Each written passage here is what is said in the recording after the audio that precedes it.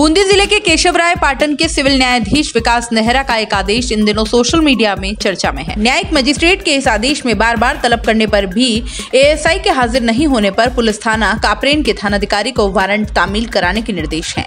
इसमें न्यायिक अधिकारी विकास नेहरा ने टिप्पणी की है कि गवाह भगवान सिंह को स्वर्ग लोक से पाताल लोक तक तलाश कर गवाह की तामील आवश्यक रूप से करवाया जाना सुनिश्चित करें, ताकि पुराने प्रकरणों का समयबद्ध निस्तारण किया जा सके। न्यायिक मजिस्ट्रेट का यही आदेश इन दिनों सोशल मीडिया में वायरल हो गया है। दरअसल ये आदेश केशवराय पाटन के सिविल कोर्ट में छह लंबित मामलों से जुड़ा है। इसका अनुसंधान एएसआई भगवान सिंह ने किया था और इन्हीं मामलों में गवाह भगवान सिंह को पेश होना था, लेकिन वह बार बार तलब करने पर भी कोर्ट में पेश नहीं हो रहा।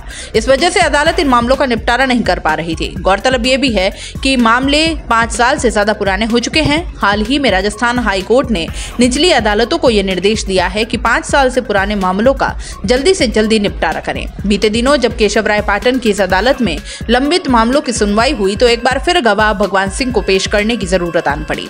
तब न्यायिक अधिकारी ने पुलिस को ऐसा सख्त निर्देश दिया। सिविल कोर्ट ने पुलिस थाना कापरेन के थानाधिकारी को निर्देश दिया है कि वह भगवान सिंह के खिलाफ जारी वारंटों की तामील कराए, क्योंकि पुलिस थाने में एएसआई रहते हुए भगवान सिंह ने ही इन सभी मामलों का अनुसंधान किया था।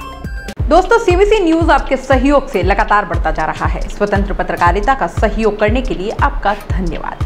सबसे पहले तो जिन लोगों ने हमारे चैनल को सब्सक्राइब नहीं किया है तो पहले सब्सक्राइब करें, जिसका कोई शुल्क नहीं लगता और बड़ा आसान है। बस नीचे दिख रहे लाल सब्सक्राइब के बटन को दबाना है और पास में दिख रहे बेल आइकन को भी दबाना है, ताकि आपको अपने सीबीसी न्यूज़ के हर अपडेट्स मिल सके। हमारे इंस्टाग्राम पेज और फेसबुक पेज को भी लाइक करें फॉलो करें। वहाँ पर भी आपको मिलती है तरह तरह के हम पूरे राजस्थान से आपके लिए लाते हैं वो खास खबरें जो आपके लिए ज़रूरी है और वो भी पूरी बेबाकी के साथ। पत्रकारिता के इस मुश्किल दौर में आपकी आवाज़ जिम्मेदारों तक पहुंचाना ही हमारा लक्ष्य है। और ये आपके सहयोग के बिना संभव नहीं है। हमारा सहयोग करें, स्वतंत्र पत्रकारिता में अपना योगदान दें और ज्वाइन बटन पर जाकर सदस्यता लें। चाहे सबसे छोटी सहायता के रूप में ही क्यों ना हो।